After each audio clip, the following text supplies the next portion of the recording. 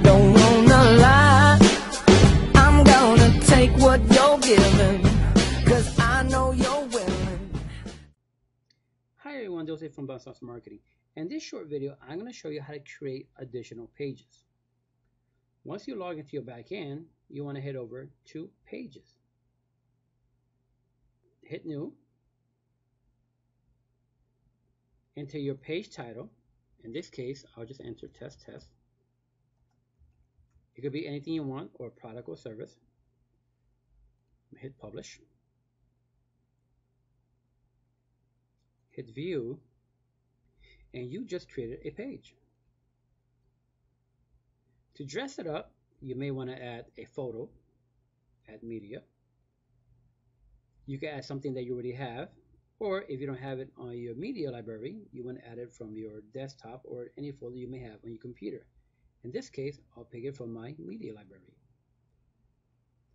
Once you click this, this window is going to pop up. You can add the name,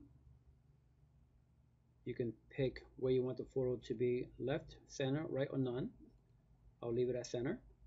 Do I want the image to be clickable? I don't at this time. Otherwise, it will be clickable to an internal link. But if you have, let's say, a inflatable office, you definitely want to pick this. Enter the inflatable office checkout area. But since we're not doing that in this video, hit none, keep the same size, and my picture is there.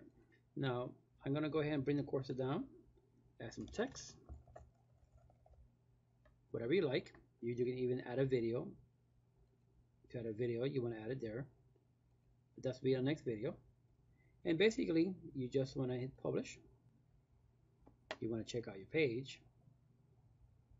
And there's your new page. It is that simple. And that, my friend, is how you create your inner pages. In the next video, I'm going to show you how to link them all together. Take care. Have a great day.